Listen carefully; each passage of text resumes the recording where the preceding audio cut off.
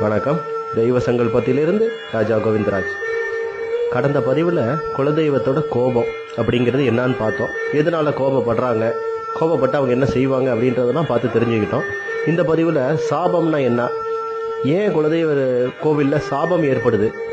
அந்த சாபம் ஏற்பட்டால் நம்ம குலத்துக்கு என்ன ஆகும் அப்படிங்கிறத பற்றி இந்த பதிவில் நம்ம தெரிஞ்சுக்கலாம் ஒரு சில குடும்பங்கள்லங்க குலதெய்வம் கோயிலுக்கே போகவே முடியாதுங்க. அவங்க எவ்வளோ முயற்சி எடுத்தாலும் அந்த கோவிலுக்கு அவங்களால போக முடியாது. இதை சில பேர் எங்கிட்ட நேரடியாகவே கேட்டிருக்காங்க. நாங்கள் ரொம்ப முயற்சி பண்ணி எங்களோட குலதெய்வ கோவிலுக்கு எங்களால் போக முடியல. ஏதோ ஒரு தடை வந்துடுது இல்லை அசம்பாவிதம் நடந்துருது.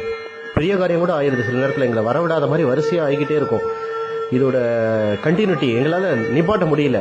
இது எதனால அப்படின்னு சொல்லி கேட்டிருக்காங்க. இங்கே ஒரு விஷயத்தை கவனிக்கணுங்க. குலதெய்வம் என்னன்னு தெரியும். ஆனால் அந்த கோவிலுக்கு நம்மளால் போக முடியாது. அந்த பூசை முறைகளை செய்ய முடியாது. இதுக்கு என்ன காரணம் அப்படின்னு சொல்லி நல்லா கவனமாக கவனிச்சோன்னு சொன்னோம்னா இந்த பங்காளிங்களுக்குள்ள சண்டை போட்டுக்கிட்டு அந்த குலதெய்வத்தை கட்டுறேன்னு சொல்லி மந்திரவாதிகள்கிட்ட போய் சில தப்பான பூசைகளை செஞ்சு வீட்டில் அந்த எந்திரத்தை வச்சு பிரதிஷ்டை பண்ணிடுவாங்க. பிரதிஷ்டை பண்ணிட்டு அந்த தலைமுறை போய் சேர்ந்துரும். அதுக்கப்புறம் இருக்கிற தலைமுறைக்கு அந்த குலதெய்வம் கோயிலுக்கு போகணும்னு நினைக்கிறப்பெல்லாம் அந்த சாபமானது அவங்கள விடாது. ஏன்னா அந்த வீட்டில் உள்ள அந்த பெண்கள் தான் இந்த சாபத்துக்கு முதல்ல பலியாகிறது சில ஆண்கள் என்ன பண்ணுவாங்கன்னு கேட்டிங்கன்னா அந்த பெண்களை போட்டு அடிச்சுக்கிட்டே இருப்பாங்க. அவங்க தன்னைத்தானே தற்கொலை பண்ணிக்கிட்டு சாகிற அளவுக்கு அவங்களுக்கு அந்த தவறான வார்த்தைகளை பிரயோகப்படுத்துறது அவங்கள போட்டு அடிக்கிறது அவங்கள கொடுமைப்படுத்துறது அவங்கள அழுக வச்சுக்கிட்டே இருக்கிறது. இது எல்லாமே பார்த்தீங்கன்னா இந்த சாபத்தோட விளைவு தான் ஏன்னா நல்லா கவனிங்க தலைப்பில் வந்து தேவியர்னு தான் நான் சொல்லுவேன். குல தேவியர்னு தான் சொல்லுவேன். ஏன்னா குலதேவியரோட சேர்ந்து தான் பரிவார தேவதைகள் உள்ள வரும். அப்போ இந்த குலதேவியர்ன்றவங்க பெண் சம்மந்தப்பட்டவங்க அதனால தான் இறந்து போன பெண்ணையும் வச்சு சில குடும்பங்களை குளி வழிபாடு செய்வாங்க. அதனால் இந்த குலதெய்வ சாபம் வந்து எப்படி ஏற்படுதுன்றப்ப இந்த குலதெய்வத்துக்கு போய் அங்கே அது நம்மளுக்கு வசியமாகணும்.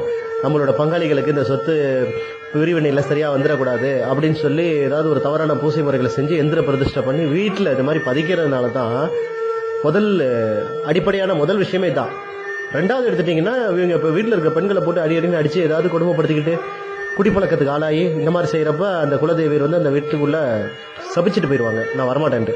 மூணாவது எடுத்துட்டிங்கன்னா இந்த குலதெய்வங்களோட எல்லை இருக்குது பார்த்தீங்களா அது ஒரு பங்காளிக்கிட்ட இருக்கும். அவர் என்ன பண்ணுவார்? அவர் அந்த எல்லைக்குள்ளே யாரும் வரக்கூடாது அப்படின்னு அதை பூட்டிடுவார். அந்த எல்லைக்குள்ளே அவங்க வரமாட்டாங்க. யாரையும் பூசை செய்யவும் விட மாட்டாங்க அப்போ இவங்க சண்டைனால அந்த கோவிலை பூட்டி வச்சுட்டு அந்த எல்லைக்குள்ளே போய் பூசை செ- பூசை முறைகள்லாம் செய்யாமல் விட்டுறது. அப்போ அது சாபமாக மாறிக்கும். அப்போ அந்த குடும்பத்தில் இதே மாதிரி திருமணம் கூடி வர்றது ஒரு மருத்துவ செலவு வந்து அது நிறைவாக முடியறதில்ல. பெண்களுக்கு உண்டான நல்ல வாழ்க்கை அமையறதில்ல. பையனும் படிச்சுட்டு இருந்தான் அவன் மட்டும் சுற்றிக்கிட்டு இருப்பான்.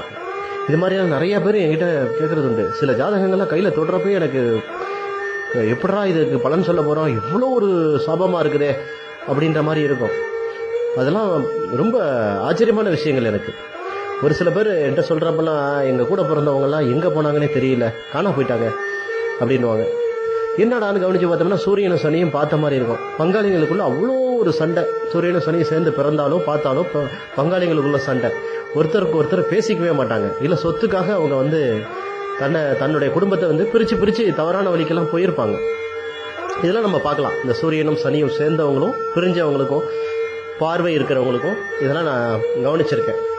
இப்படி சின்ன சின்ன விஷயங்களுக்கு ஆரம்பித்து தான் நம்மளோட குளத்துக்கு ஆகாத தேவியருக்கு எதிர்ப்புறமா இல்லை உள்ள பூசைகளை செய்து சாபத்தை வாங்கிக்கிறதுங்க. இந்த சாபத்துக்கு பரிகாரம்னா என்ன அப்படின்ற கேள்வி வரும்.